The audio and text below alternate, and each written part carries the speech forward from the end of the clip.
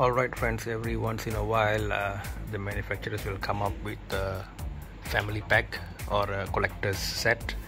Uh, and if you find them in your trips to the mall or wherever you do your shopping uh, especially if you are a collector uh, be sure to get them. So in this pack you can see uh, there's the classic original polo polo green alright 1978 uh, followed by polo blue right the fresh aquatic type polo black and then uh, finally last but not, not least polo red.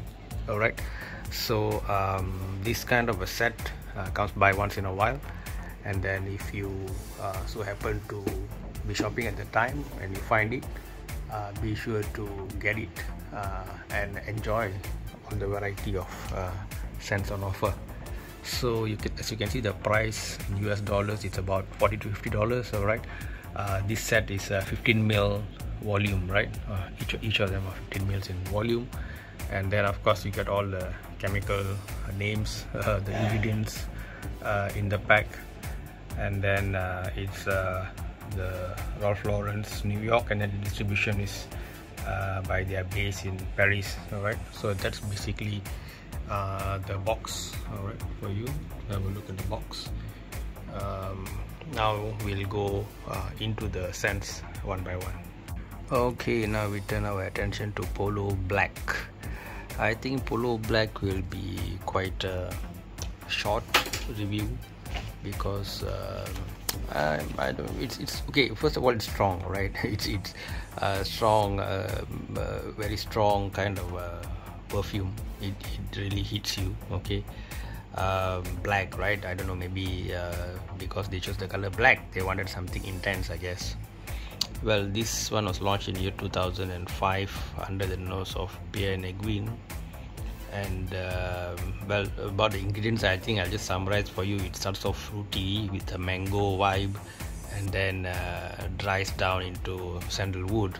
But I get a lot of musk as well so maybe it's just my nose. But anyway uh, I feel it's kind of too strong, too I don't know, too too too powerful, and uh, uh, I I guess certain kind of men can carry this off well, or if your work involves you being around very you know uh, sweaty, congested places, I guess like clubs and all that. If you're working in those kind of places where you're sweating, and you need and you need a perfume that sort of uh, you know overcomes all that, then I can see this sort of working in that kind of a setup but other than that i mean even even those kind of uh, places you got you got other perfumes that are more i think better Paco Rabanne 1 million and so on uh, to, to use for for intense or uh, what's the other one?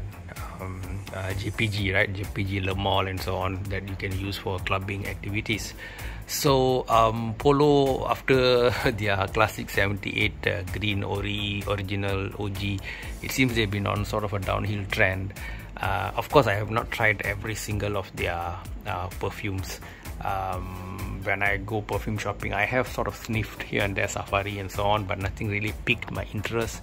And um, well this time I got got got a set because you know it was a set it seemed like a good deal uh, with four of the uh, colors green blue black and red.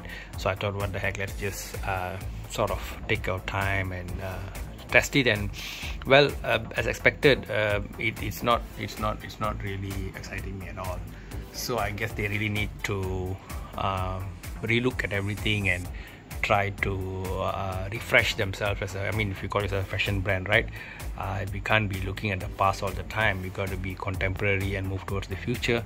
So um, yep if the people behind polo are listening uh, they should revamp their design. Even the bottle design i think it's not so inspiring you know like they just keep the same design from 1978 just changing the color. I think um, some amount of risk taking would be would be interesting.